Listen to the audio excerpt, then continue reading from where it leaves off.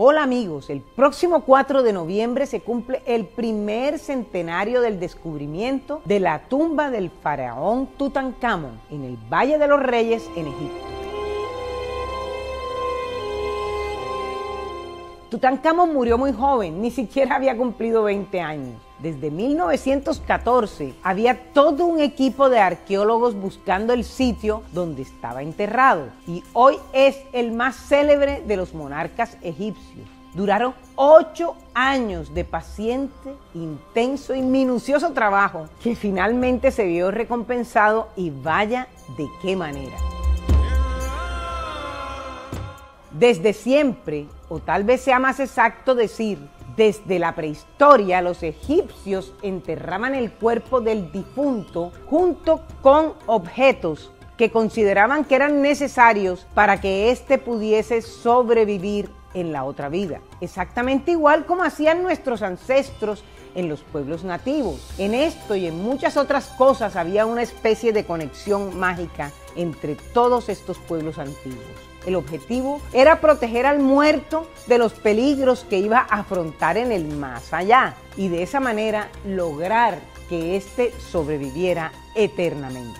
Pero, ¿por qué se encontraron tantas armas y distintos vestidos, incluso militares, dentro de la tumba? Sencillamente porque como jefe de Estado, el faraón tenía que garantizar la defensa de su pueblo. Es sorprendente, pero es exactamente igual a hoy cuando el Estado es la entidad política que ostenta el monopolio de la fuerza, por lo que es obligación del jefe de Estado, en nuestro caso del presidente, garantizar el orden público siempre nos han contado que fue el arqueólogo británico Howard Carter el que supuestamente encontró la tumba, pero les cuento que eso no fue así. El que realmente encontró la tumba del faraón fue un niño, una criatura de 10 añitos llamado Hussein Abdel Rasul, que trabajaba en el equipo como aguatero, o sea, era el que llevaba agua a los arqueólogos y la encontró de pura chepa.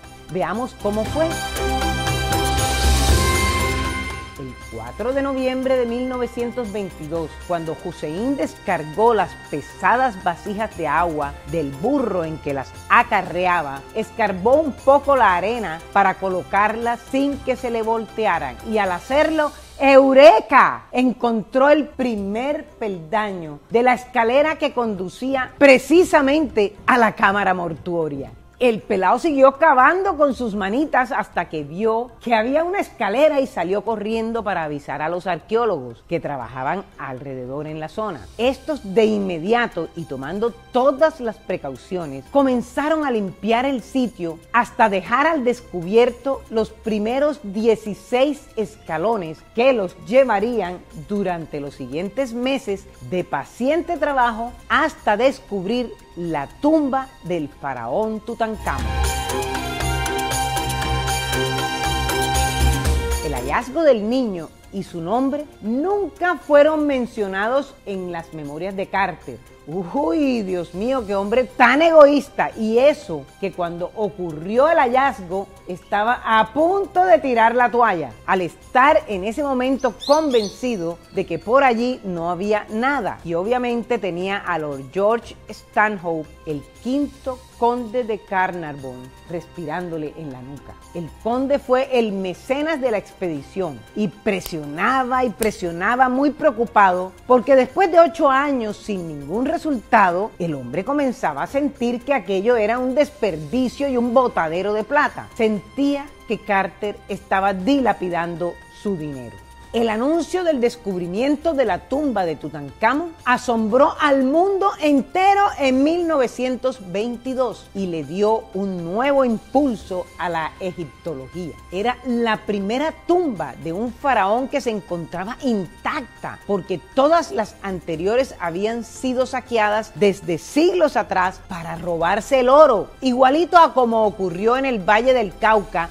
aquí en Colombia, cuando se descubrió el tesoro de Malagán con la diferencia de que este hecho es imperdonable, porque fue hace solo 30 años. Eso es una verdadera vergüenza.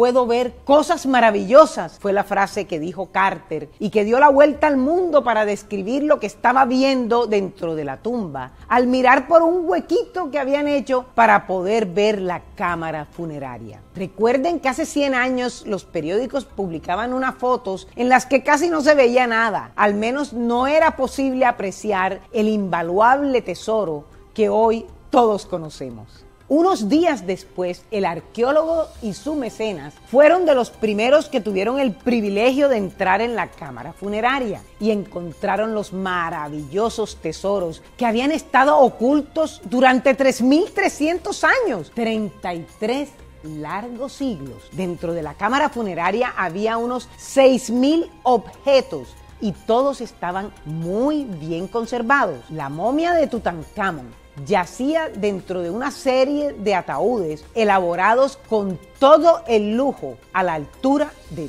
todo un faraón egipcio. El féretro externo medía más de dos metros y estaba todo enchapado en oro puro. Este contenía otro ataúd que estaba elaborado nada menos que en oro macizo y decorado con las más exquisitas piedras preciosas. Toda una fantasía. Adentro descansaba el faraón niño, Tutankamón con su cabeza cubierta por la máscara de oro, que es hoy sin dudas el objeto más célebre y famoso de todos los tesoros hallados en el sitio y tal vez de todos los tesoros de Egipto. A Tutankamón se le conoce como el rey niño por haber muerto tan joven. Recordemos, no llegó ni a los 20 años. Realmente gobernó durante menos de 10 años sin ningún logro conocido. Pero el azar quiso que 33 siglos después sea hoy el faraón más conocido de la historia del antiguo Egipto